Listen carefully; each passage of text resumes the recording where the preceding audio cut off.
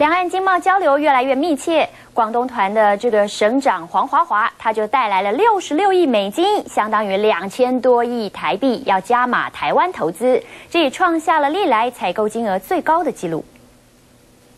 中国大陆即将超越日本，成为世界第二大经济体。中国大陆的经济终于熬出头，一飞冲天。尤其是广东省独占鳌头，是内地 GDP 最高的省份。台商的技术和资金绝对是关键。现在有两万四千家的台商立足在广东，广东变成第一大的经济体。我想台商的贡献可以说相当之多，不仅带来了资金，带来了技术，带来了市场，同时也解决了我们的就业问题。合资企业在广东就吸引了六百万人的就业。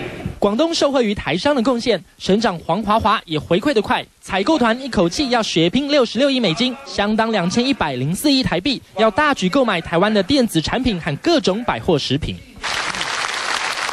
两地各大企业签约成定局，这六十六亿美金，台湾赚定了。台湾有很多这个优势产品了，我估计啊，这个接下来。